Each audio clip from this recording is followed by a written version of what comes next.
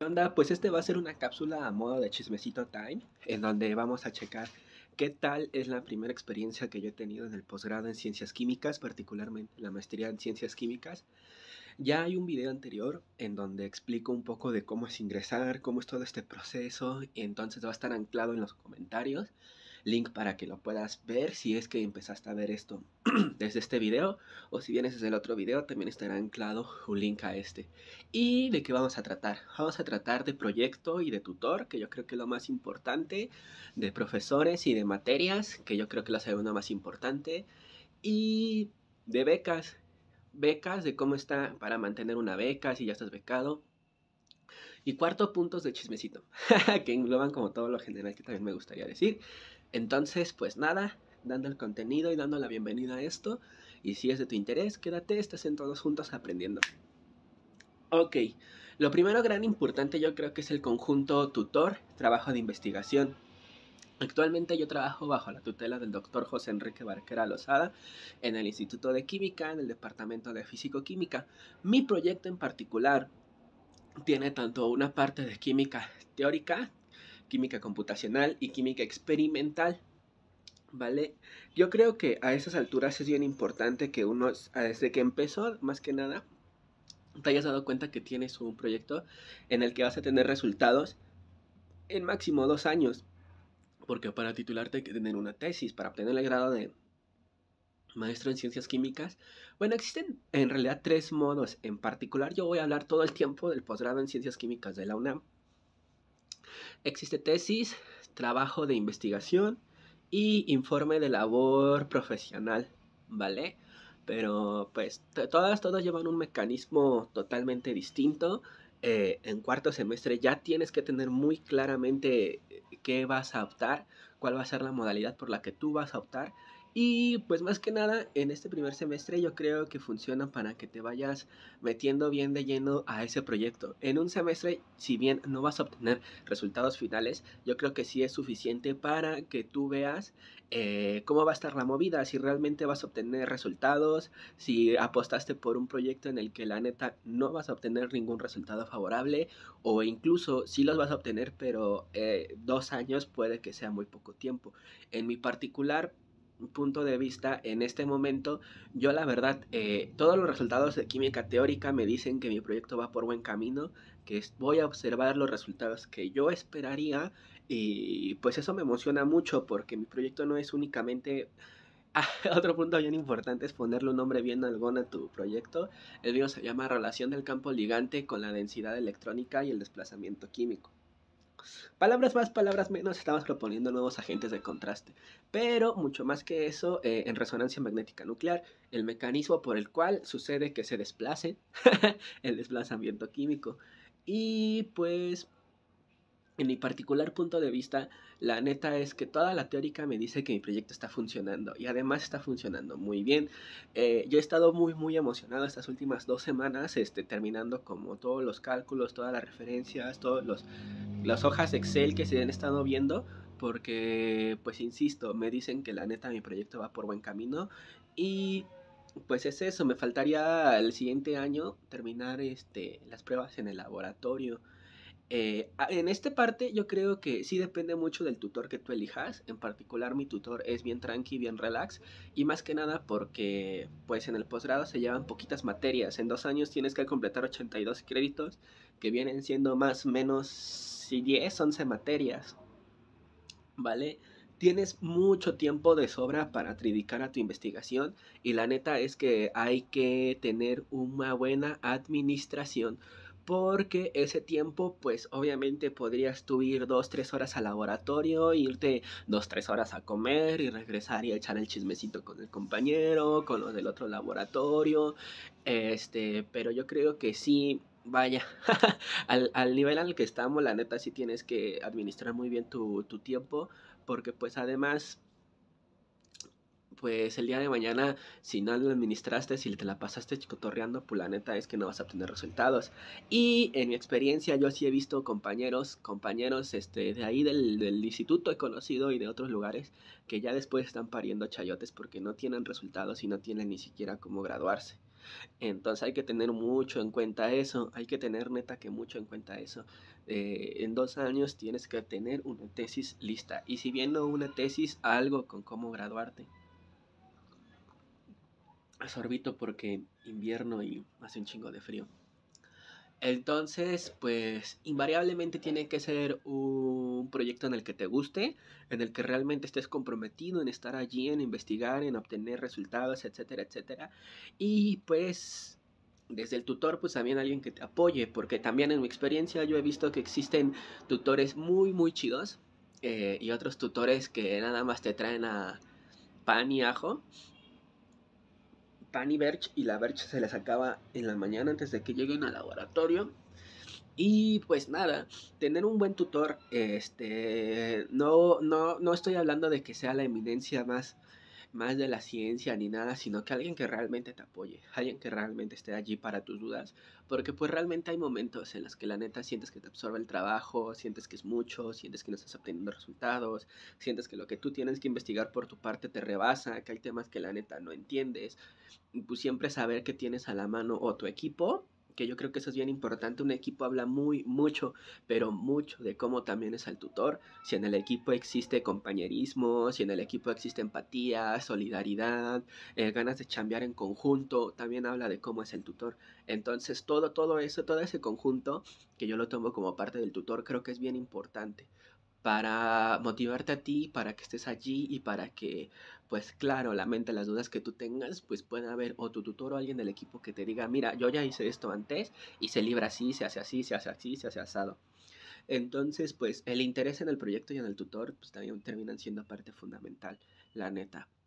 Y pues bueno, hablando del segundo punto entre materias y profesores, la neta es que por lo menos en el ciencias químicas hay un, digamos, por alguna forma tronco común, que son materias que, de un paquete de materias de las que a fuerzas tienes que tomar por lo menos creo 18 créditos, si no recuerdo mal, mínimo 12 creo, máximo 18.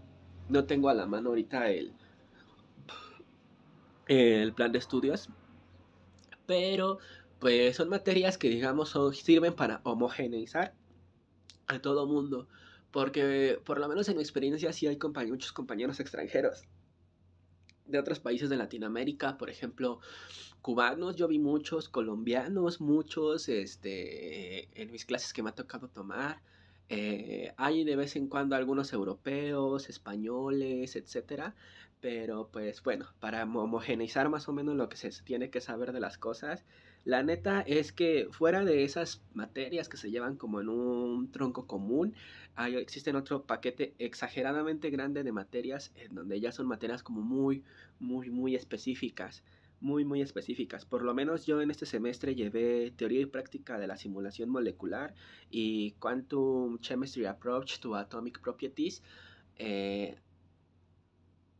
ajá, eh, otro nombrezote súper grande le puso el profe, pero la neta es que las, las materias que son muy muy específicas las, las, imparten verdaderos expertos en el tema, verdaderos verdaderos expertos en el tema, que su trabajo de investigación real lleva enfocado pues a ese mismo tema que te dice la materia, realmente son personas que se saben de pie a pa, de pies a cabeza y que además muchas de las ocasiones tienen algunas propuestas justamente en ese campo, en esa área, más o menos. Entonces, pues eh, en ese sentido, la neta es que trabajas con, verdaderos expertos, con gente que sabe, sabe mucho y te puede inculcar sobre alguna área, sobre lo que incluso hoy en día se está investigando en la vanguardia, porque también ese es otro tema muy interesante. Uno a veces puede pensar que tu idea es bien, bien original hasta que te, das, te pones a hacer el anteproyecto, la investigación previa y te das cuenta que alguien chino ya lo hizo hace cinco años. Entonces, pues, en fin, eh, en ese sentido, ah, platicando un poquito más de los profes, pues creo yo que a, a, cualquier, como cualquier grado escolar, hay de todo. Hay desde el profe súper mega buena onda que se pone a cotorrear contigo, que la neta es hasta un amigo, un pana, alguien que te sientes bien cómodo de decirle, oiga, profe, la neta es que aquí me quedó una duda, yo no entendí muy bien lo que está explicando, a mí la neta es que no se me hace nada claro lo que está diciendo, hasta el profe, hay que decirlo neta, mega mamoncísimo, este, que va a llegar tarde, que no va a dar clase, que su clase más bien es pásele muchachos y expongan y yo aquí me quedo este, picándome el ombligo porque la neta no tengo ganas de hacer nada. Este, el profe faltista, al que le vale gorro, al que nada más está criticando, al que la neta ni te sientes confiado de decir, la neta tengo duda, la neta, le que llegas y dices, ay, la neta qué hueva con tu vida, contigo y con tu clase. Entonces, eh, en ese sentido de crítica yo lo haría, pero cuando estaba pensando antes de grabar esto, creo que siempre hay en todos lados eso y desafortunadamente lo hay. Hay un montón de gente que la neta, hay que decirlo, yo lo voy a decir a modo de crítica, neta, no sirven para dar clase porque eh, tener, tener la capacidad de generar conocimiento es una cosa y tener la capacidad de transmitir conocimiento es otra completamente distinta, que la neta pecan las universidades de no distinguir eso, de poner investigadores a dar clases cuando la neta ni le saben. Y hay que decirlo, ni le saben. Las capacidades pedagógicas no van de la mano de tu doctorado, de tu maestría, la neta, no. Y si no le sabes, no le sabes. Pero en fin, este...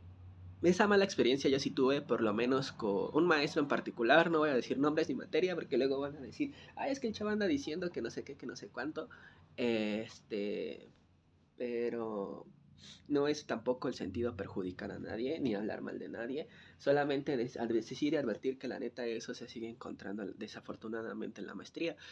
Y pues por el otro lado, insisto, la neta es que hay profes en los que te puedes comunicar, estar seguro que los puedes ir a buscar a su cubículo en algún momento, en alguna parte, incluso de tu propio proyecto que te atores y el día de mañana incluso pueden ser colaboradores con la investigación y todo, este, incluirte, y pues se siente bastante padre, se siente bastante padre ingresar un poco más a las entrañas de este mundo de la investigación científica, eh, conocer, yo diría más personalmente, muchos, muchos más investigadores y que la neta, pues justamente con lo que te estén hablando de la de lo que se investiga a la vanguardia en el área, en las formas y todo, la neta es algo bastante, bastante cool, bastante chido. Hay materias muy, pero que muy interesantes, que la neta, pues en un semestre no te da el ancho para, para abarcar todo. La neta es otra cosa importante que yo creo, por lo menos en química cuántica, este hay muchas partes que ya te pones ver a lujo de detalle y eso en particular a mí me encantó porque pues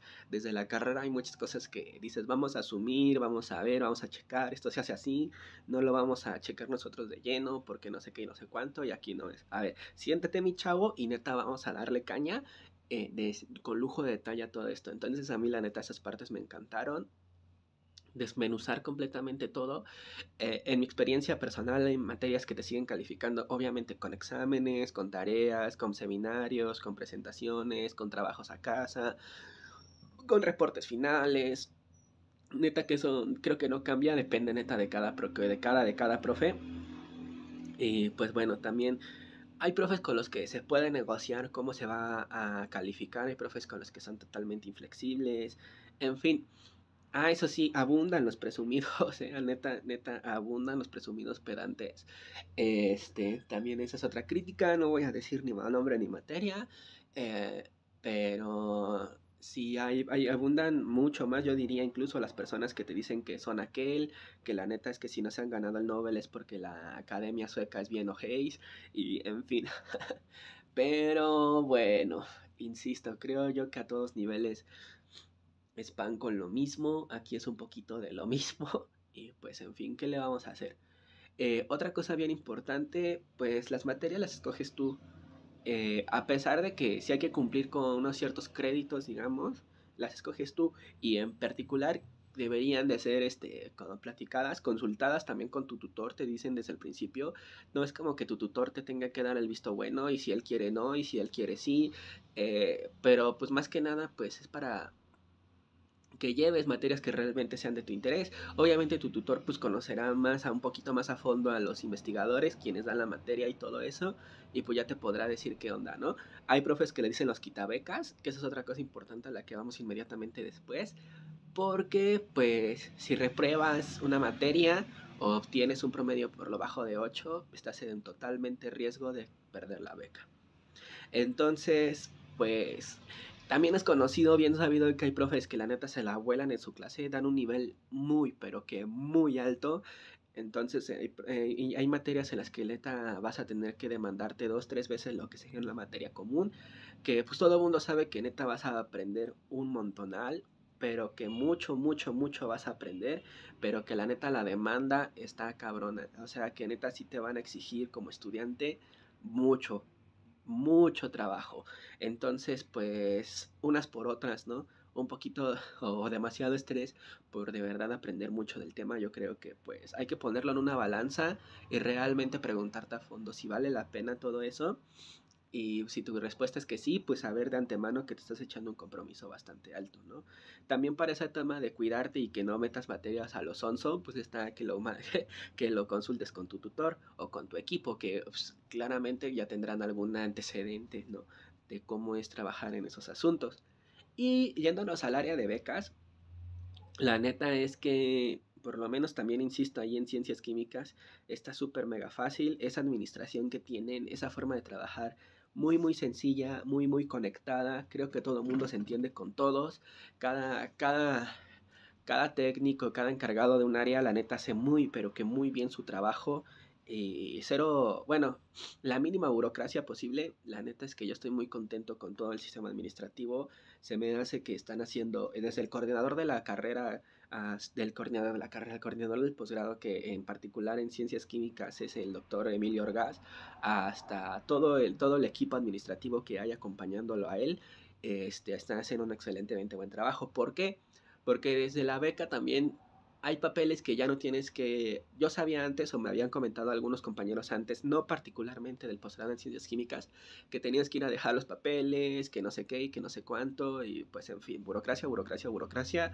Eh, ahora tú los cargas en una carpeta de Dropbox, el encargado, el profesor Gumaro, que es el encargado del área de becas en ciencias químicas, la neta es que luego luego revisa tu trabajo, luego luego checa que estés bien con las fechas, que hayas entregado papeles. Este, hay una existe la página de existe la página de de ciencias químicas en donde descargas todos los formatos que hay que hacer. Hay que entregar un una evaluación anual semestral, perdón, a CONACIT en donde prácticamente tu tutor llena todo eh, el avance que tienes de la tesis, el cuándo te pretendes este, obtener el grado, etcétera, etcétera. Tus datos personales, es que no reprobaste ninguna materia y una opinión personal de él. Si recomienda que se te continúe dando la beca o no recomienda que se te continúe dando la beca. Hay que entregar un informe también semestral máximo 8 o 9 páginas, la neta es que no te emociones, nada más es como un pequeño abstract, un pequeño background, este, antecedentes de lo que estás haciendo y resultados. Y pues, tu discusión de resultados, ¿qué opinas? ¿Qué onda con tu proyecto? ¿Va por buen camino? ¿Va por mal camino? La neta es que si estás obteniendo lo que querías, etcétera, ¿no? Entonces, pues 8 páginas, 9 páginas con todo y la portada y listo, la firman tu tutor, la firmas tú y la subes a Dropbox y hay otro formato para la beca también. No creo que es esa parte. Ajá, la reinscripción de materias, etcétera, etcétera. Pero pues la neta es que para mantener la beca existen cosas importantes que es no reprobar materias, porque en principio desde que entras tú te comprometes a que no vas a reprobar materias y no obtener un promedio global mínimo de 8. Eh, mínimo de 8. O sea, el mínimo es 8, pues de 8 para arriba. 8 se vale, este 8.01 para arriba se vale, pero en todo caso que repruebes, una vas a perder la beca, puedes continuar en el posgrado, sí, pero ya sin beca. Este, y si obtienes mínimo de por, debajo de 8 también puedes perder la beca. Eh, puedes continuar en el posgrado, pero ya sin beca. Y es que la neta, perder la beca yo creo que sí es algo importante, porque eh, el, eh, hay que decirlo, el posgrado la neta te absorbe un montonal de tiempo. Particularmente yo y tengo otros compañeros que van hasta el domingo. yo a veces voy sábado, la neta es que domingo pocas veces he llegado a ir en domingo. Este, pero sí, sí te absorbe la neta bastante cabrón. Y yo creo que más que nada, pues eso, ¿no? Eh, tienes dos años para acabar todo. Entonces, pues sí te limitan tanto a que pues puedas recibir ingresos de cualquier otro tipo de fuente que pues va a requerir tiempo tuyo. Entonces, pues la neta es que pues muchas veces ese dinero se convierte casi casi que en el 100% de los ingresos. Particularmente yo desde que ingresé, pues la neta sí se ha convertido, si bien no en el 100% de los ingresos, sí yo creo que en una parte grande del porcentaje de los ingresos que obtengo. Entonces, pues la neta es que a veces aunque quisiera yo, este, sí no me da tiempo muchas veces a la mejor de andar de seguir en contacto, de seguir este buscando trabajo como lo estaba haciendo eh, años, tiempo anterior a entrar a la maestría. Entonces, pues yo creo que sí es uno algo que hay que cuidarlo bastante, bastante bien. La neta es que recibir la beca, hablando de eso, únicamente pues, te van a llegar tus depósitos a nómina, a, tu cuenta. Eh, particularmente en la UNAM se hacen, las becas se hacen en depósitos a cuentas Bancomer y pues real los primeros, la promesa es que los primeros cinco días hábiles de cada mes eh, te va a llegar la beca. A mí me ha estado cayendo la beca cada primero, sin falta, como 4 o 5 de la tarde. Y es tan cómodo como eso, te llega tu dinero y pues tú ya tienes en principio también acceso a una tarjeta de débito. Y pues puedes hacer uso de los cajeros, ir a pagar, este, ya por ahí pagar las facturas que se empiezan a acumular iniciando el mes, etc. Es tan fácil como eso, la neta. La neta es que sí, sí te dan una buena lanita, yo creo que de beca. Para beca de maestría, vamos, eh, recuerden que estamos hablando ahorita de maestría, están dando lo equivalente a 4.5 UMAS, unidades de medida y actualización, que vienen siendo poquito más de 13 mil pesos al mes. Entonces, pues, la neta, yo creo que, si bien no es un sueldo que, wow, cómo pagan en este cabrón, eh, la neta sí es con algo con lo que puedes vivir. La neta sí es algo con lo que puedes vivir. Este. Y pues bueno, además te dan seguro médico. yo pensaba que había aguinaldo, no, no hay aguinaldo. Eh, yo pensaba, etcétera, ¿no? Pero pues bueno, unas con otras. El dinero de las becas está exento totalmente de impuestos. Nosotros no pagamos impuestos por percibir la beca. Entonces yo creo que la neta eso también está bastante chido. Este, ¿qué más decir de la beca? Pues nada, cuidarla realmente yo creo que pues incluso si sabes administrar bien tu dinero y todo, sales avante con ese dinero al mes. Eh, si tienes dependientes económicos tuyos, planeta sí no sabría de qué decirlo. Estamos hablando desde una persona que únicamente se mantiene a sí misma y pues bueno, claramente aporta en el, en el ámbito de la casa, de la casa en donde yo vivo, eh, de mi familia, con gastos, etcétera, gasto y todo pero pues más que eso, la neta no tengo dependientes económicos directos. el dinero prácticamente es para mantenerme al mes a mí. Entonces, pues en fin, no sabría decir la neta si le alcanzaría a una familia que tiene dependientes económicos, por ejemplo, hijos, o que tenga familiares que dependen directamente económicamente de ellos. Este, por otro lado, y el lado de Chismecitos Time, la neta es que me, he me la he pasado muy, pero muy, muy padre. Este, yo vengo de dos años que dejé de estudiar, bueno, que no que dejé de estudiar, terminé la carrera por varios motivos del COVID y todo, en fin, no había podido a, terminar como todo este trámite de titulación, ni siquiera iniciarlo, un desmadre, estuve dos años trabajando, la neta es que también agradezco mucho todo ello, me dio una experiencia totalmente increíble, me la pasé muy bien, afortunadamente también me fue muy bien, eh, regresé porque siempre tuve la duda de qué podía ser de mi proyecto, eh, si podía haber algo más. Por ejemplo, lo que hice en licenciatura fue únicamente también teórica, propuestas, etcétera, pero con la finalidad de trabajar lo que estaba trabajando hoy en día, que son los agentes de contraste y de proponer un mecanismo, etcétera. Estoy muy satisfecho porque mi experiencia en general, si bien ha habido partes chidas, ha habido partes que no me han agradado, en general yo la rescato como buena. He conocido más amistades que la neta son personas que han contribuido bastante eh, a mi formación, no únicamente humana, sino también yo diría que como científicos, porque, insisto, hay la parte que te puedes encontrar personas este, extranjeras e incluso, ay, ¿cómo se les dice a los otros que, que vienen del estado de México, pero no son particularmente de la ciudad? nómadas, no, foráneos. Este, he tenido la oportunidad también de generar amistad con compañeros de otros equipos de investigación ahí del Instituto de Química y de aparte del Instituto de Química, de reencontrarme con amistades de mi generación y de otras generaciones que ya conocía desde la licenciatura y eso enriquece bastante.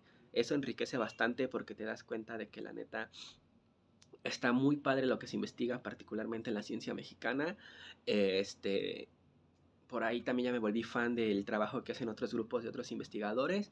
Y pues, en fin, eh, cada año se hace el trabajo de investigación de hacer un póster científico por parte de, del Instituto de Química en un ejercicio de un simposio interno. Y pues yo trabajé, yo, yo chequé allí, eh, participé.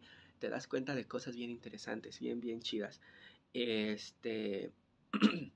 Esas han sido mis buenas experiencias en general. La neta es que también con mi equipo estoy totalmente contento y muy agradecido porque, pues, insisto, hay un compañerismo muy grande, hay una empatía muy, muy grande y hay unas ganas de apoyar al que viene muy, muy chidas. También muy, muy agradecido con mi tutor porque, pues, la neta también es alguien que se rifa como el santo. La neta sí sientes que más que tu tutor, más que tu jefe, como les gusta decir a mucha gente ahí, que no es tu tutor, es tu jefe, este, más que tu jefe es tu pana. La neta, sí. Y, y, pues eso está muy, muy chido. Dentro de las experiencias desagradables, la neta es que, sí, eso sí que diría yo una crítica, no particularmente al posgrado, sino a la ciencia mexicana.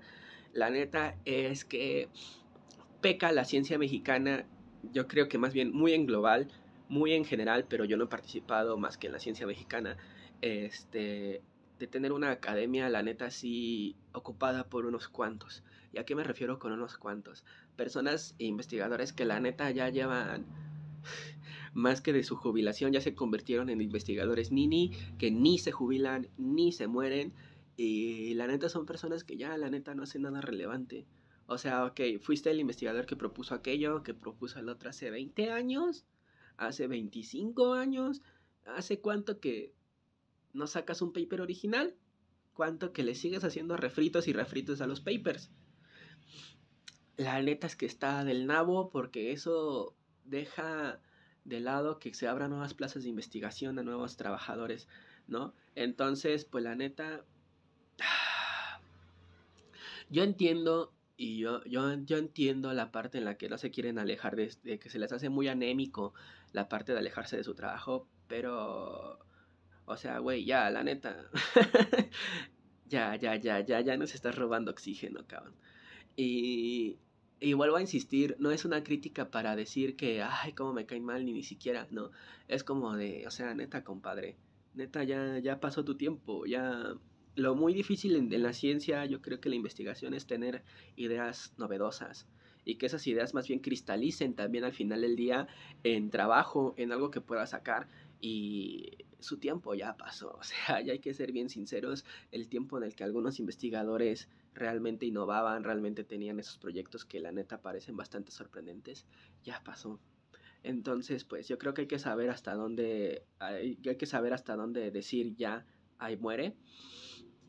Y pues eso, eh, en mi experiencia personal, la neta sí también hay que decirlo, también la neta he sentido un poco de... Uh, es que ni siquiera sé cómo decirlo.